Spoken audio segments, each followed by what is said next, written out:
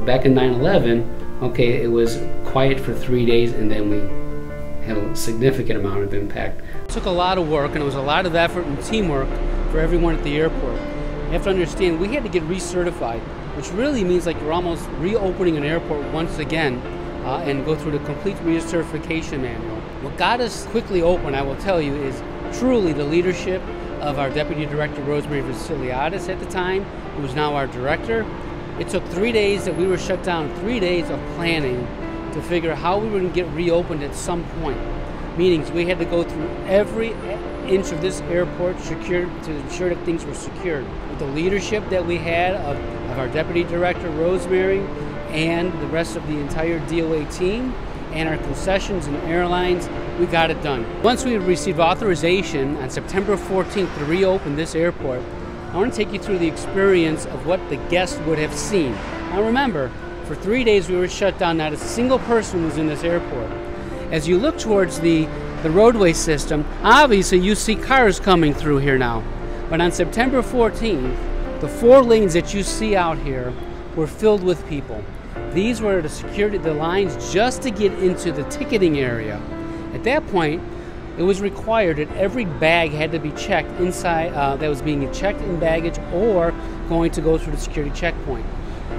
So all of the airlines literally had to inspect every bag physically. We had a uh, queuing plan that extended from the inside to the outside and included the roadway system. And this happened for several days after we were open. So you're now finally getting an opportunity to come into the terminal. But this was all queued up for people to get in, and at each airline, there were literally four or five six foot tables where every bag was inspected.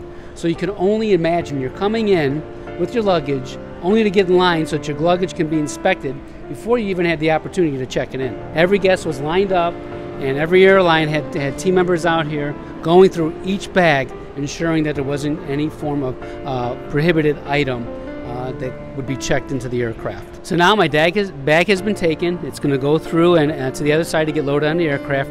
Now I have a boarding pass, and now I have to get to the checkpoint. We literally had to manage these escalators because the lines had gotten so long for some of the checkpoints that we had to queue people down in ticketing all the way down this way to ensure just to get ready for the checkpoint line. The line for that checkpoint went all the way along this balcony, all the way past our Metro, Las Vegas Metropolitan Police Department office, and further beyond.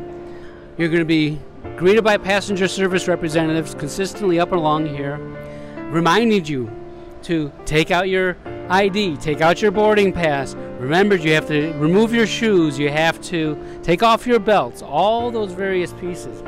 We literally had to educate every passenger on the new way of traveling and that took some time. People weren't accustomed to it. 9 11 was a phenomenal event, uh, changed lives and changed the aviation industry forever, and quite honestly, uh, um, continues on.